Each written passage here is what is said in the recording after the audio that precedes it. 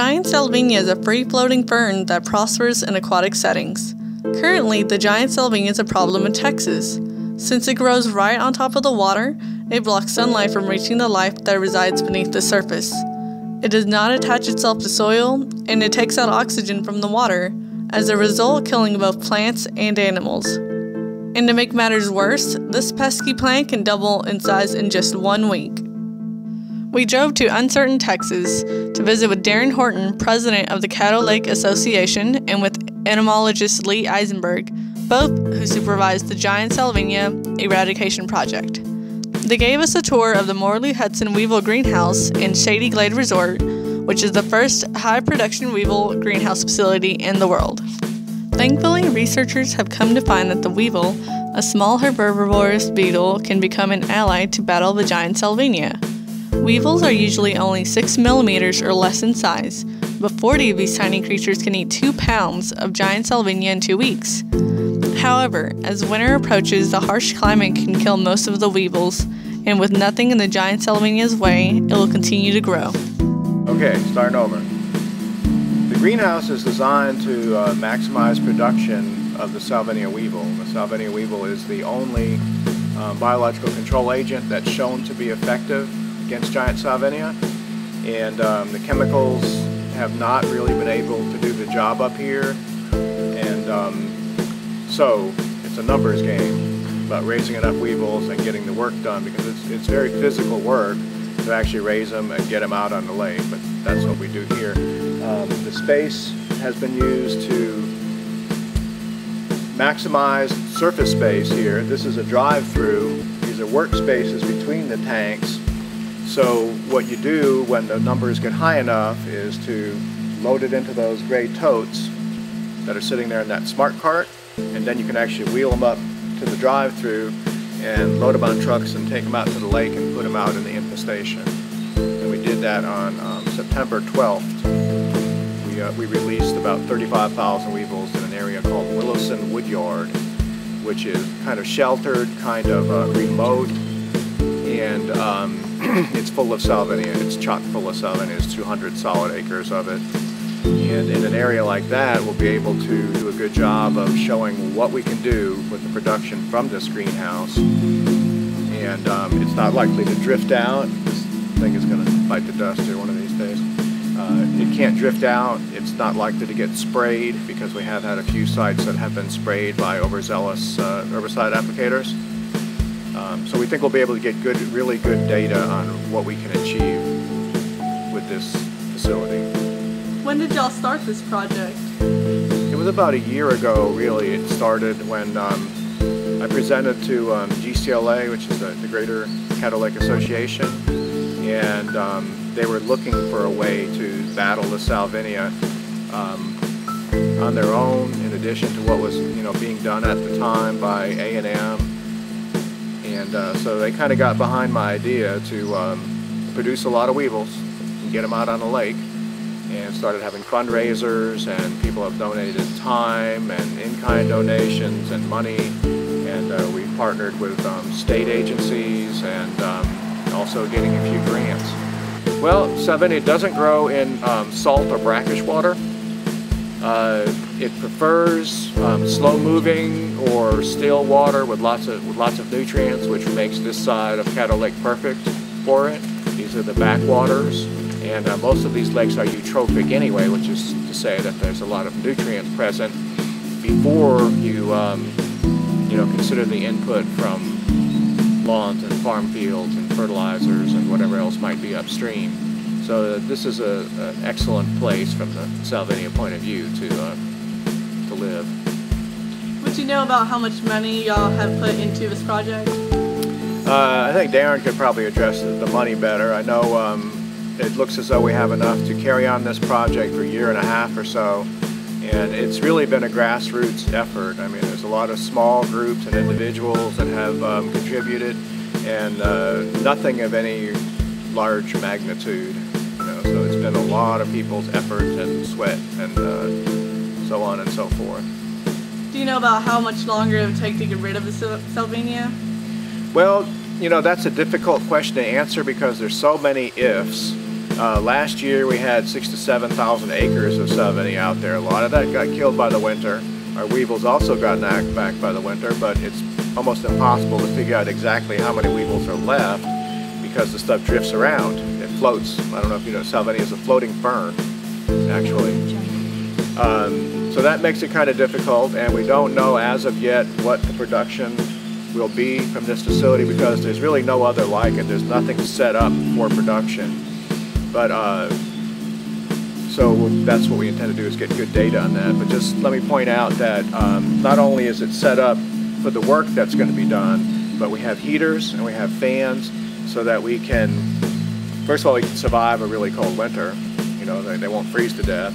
Secondly, we should be able to warm the greenhouse up in the late winter, early spring, and get a population growing and get a lot of eggs laid and so forth before the Salvinia starts to move on the lake. And, and that will be, I think, probably one of the most effective things we can do. We can cool it down in the middle of the summer when production would be lower because of stress from heat. And um, in this climate, I mean, you really have a five-month window that you can rely on, and I think we can extend that on both ends. And uh, I think we'll have an effect all out of proportion to the size of the facility. Uh, so trying to hit a moving target, not knowing how much Salvinia will be there, what we can get done, what the weather is going to be like, you know, there's a lot of questions there, but I think within a couple of years we'll be able to show significant results and just let people know what we can actually accomplish. Uh, it, it will probably take more than one facility like this to get the job done. And then you still have to watch out for other invasives, competitor invasives. Would you be able to tell me a little bit more about the weevils? How do those help control the salvinia? Okay, the weevils are herbivores and they feed on the plant. The adults feed on the buds and the leaves, but the buds are preferred because they have more nitrogen. The, the larvae bore in the rhizome, they're stem borers.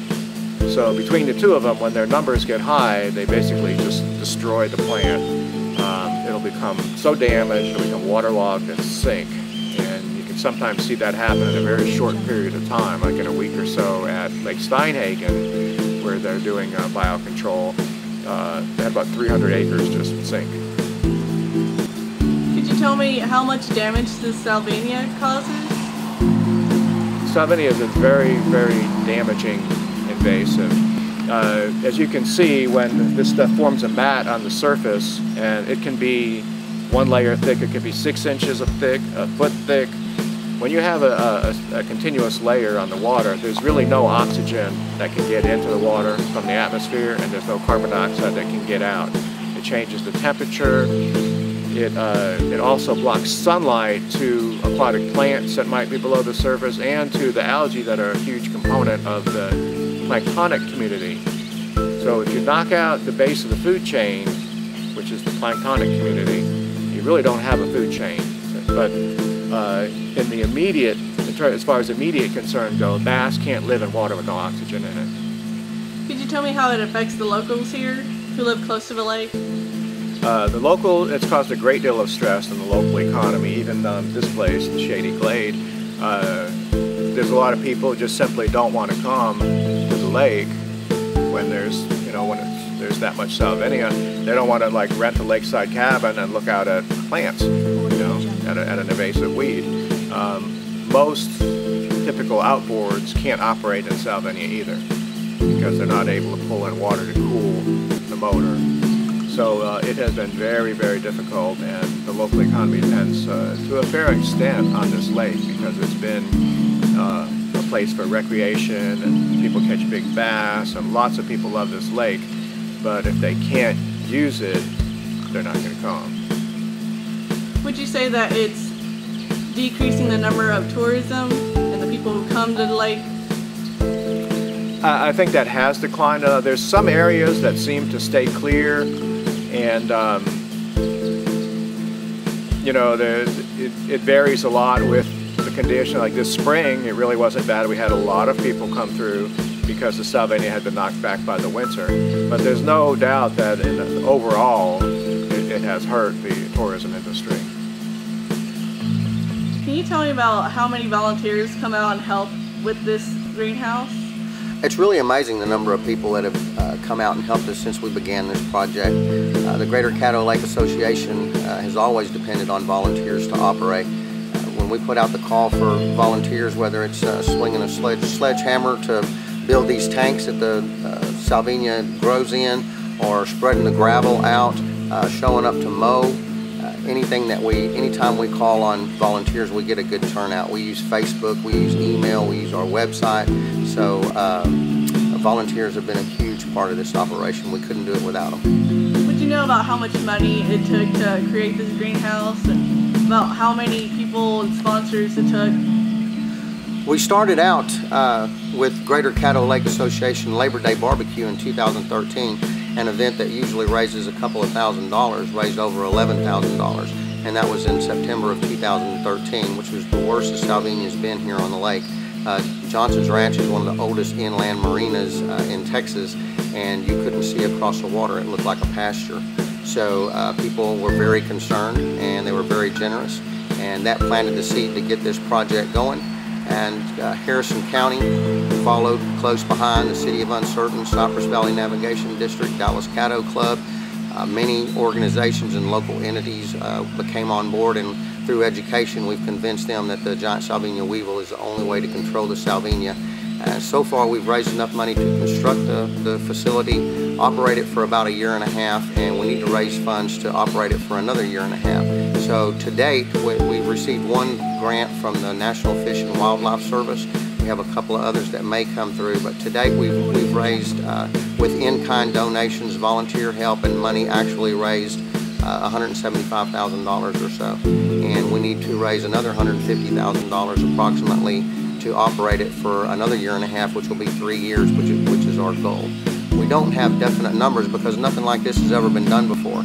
Everything that we've put together is an estimate. So once we operate for a few months and we have some history and we know how much it costs to operate each month, once we have a year under our belt and we know what it costs to operate it for a year, we'll have some solid numbers. But everything that we are putting together right now is estimated and it's uh, born of the experience of Lee, who has operated uh, greenhouse facilities in the past, and uh, that's where we're at going forward. Okay, I hear that you're one of the locals here. How does it affect you? Well, uh, it's very frightening and uh, causes a lot of high anxiety. Uh, I'm just, I'm a property owner, I'm not a business owner here on the lake, uh, and it's going to affect my property value. Uh, Salvinia can devastate this lake. Right now we've had a hard winter and we've had a lot of rain, so we've had a lot of water flow and it's washed out of the lake, which hasn't cured the problem, it's just displaced it over into Louisiana. But uh, if the Salvinia goes unchecked, it's going to take over the lake, just like it did at Lake Bistineau in Louisiana, where it covered the lake 100%. Property values will decline. I have friends who have their businesses here and depend on this lake to make a living. If they don't have people renting their bed and breakfast and they don't have uh, boats out on the water and if they're not at the grocery stores buying goods, uh, they're not staying in local hotels in, here in the county, uh, it's, it is going to be devastating. And we are not waiting for someone to get this problem under control. We are rolling up our sleeves and getting to work to solve it ourselves. Would you say if the Salvinia took over 100% of the waters, would it be too late to recover it? We, we don't know, but I think that a good guess would be yes, it would be too late. It certainly would be too late to, to save it as we know it today. Now, it may be saved in, uh, in a different state. It wouldn't be the same ecosystem. It certainly would uh, be devastating to uh, the ecosystem and, and, a lot of the nat natural plants and uh, plant life. So if, if the lake became completely covered, it, it would be uh, a huge setback and it would be a shame. A shame. This is a, a, one of only 32 places in the world that's designated a wetland of international significance under the Ramsar Treaty. Treaty. It's a, it's a natural, national treasure and we simply cannot let that happen. Uh, what we are going to do is operate this facility. We're going to document our results. We're going to go to Austin when they get in, the legislature gets in session and tell them what they're what we're doing, educate them about the giant salvinia, how it's a water consumer and that it's coming to a lake near you. And we'll operate the facility and we'll document our results. We'll go back in 2017 when they get back in uh, session. And we believe that we will partner with somebody. If we can partner with somebody and have funds to operate this facility, then we will have a management program going forward into the future. The salvinia on this lake will never be eliminated. It's not a traditional lake. It's a cypress forest in the water. There's so many areas of the lake that you cannot get to to control the salvinia. the weevils can get back there. But the weevils will not eliminate the salvinia because that's their food source. So when the pop, when the amount of salvinia goes down, the population of the weevils slows down naturally. As the, as the salvinia takes over, the population of the weevils takes off naturally. So what you get is a balance, and what we will end up with is a management program. All right, could you tell me about the tanks and how the water, how y'all recycle the water from the lakes? Okay, well everything here really is set up to make uh, it as favorable for the weevils as possible and also to handle the workload. So uh, we're pumping water, there's a lake pump in the yard or uh, near the boathouse across the street. We're filling the tanks with lake water and raising the salvinia in it, raising the weevils. It's really two-stage aquaculture. And when we release them, they will go back into lake water with identical chemistry or very close to what they came out of. So there won't be any shock, there won't be any acclimation uh, time. Uh, so that's the answer to that question. How did you build the tanks? What kind of materials did it require? Oh, uh, well, we, we built the tanks with donated 2x12s and 2x4s. Uh, the sides are 2x12s and uh, there's a little rim on the top.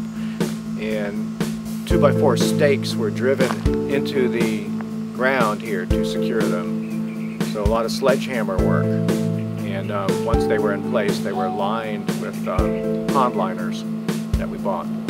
About how much land is the greenhouse on?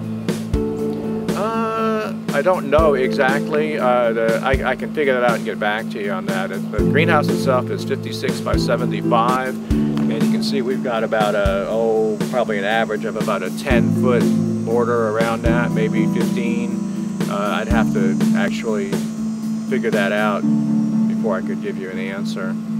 Is it the only greenhouse of its kind, or y'all do y'all have more surrounding around this area? No, it's the only greenhouse of its kind. Uh, as far as I know, there's really nothing being done quite like this uh, anywhere. And um, this is our only rearing facility, and no one else is actually doing uh, raising any bugs up here now. There was a A&M uh, research project on the wildlife refuge for uh, that went for three years, and that funding has ended, and we've uh, taken up the, the, torch and are going further with it. Okay, can you tell me about this property and who donated it for the greenhouse? Yes, the Morley Hudson Weevil Greenhouse is actually located on the shores of Caddo Lake. David and Sarah Smith own Shady Glade Resort and Marina, and they were kind enough to let us lease uh, the property from them to put the greenhouse on. Uh, they know that the salvinia has had a devastating effect on their business. They have boat slips that they rent. They have rental boats. They have a restaurant that's on the water. They have many cabins that are very nice and, and their future depends on customers coming in and using their services and accessing the lake. In 2013, when the salvinia was so bad, their business was devastated. So David and Sarah were kind enough to let us uh, use the land here right on the water so that the facility could work. Yeah, the grass was the Salvinia was taking over. Uh, we had channel 3, channel 6, channel 12, uh, Dallas stations, you name it down here, interviewing. Would you be able to tell us um, how much land did you donate to the greenhouse? Uh, probably about a half acre. Do you own all this property around here?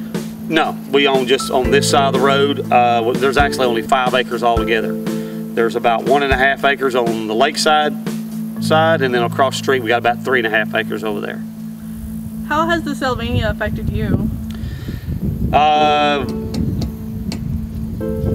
financially, it's uh, affected us, uh, cutting down on our revenue from rentals from our uh, cabins and motel, and uh, this year hadn't really been that big a deal. Last year it started, first year it's really tried to affect us, and it did. Uh, probably starting uh, middle to the end of July all the way into October. Then we had some cooler weather. Um, Texas had a pretty cold winter. We had a little bit of high water, probably about a foot and a half above spillway during the winter.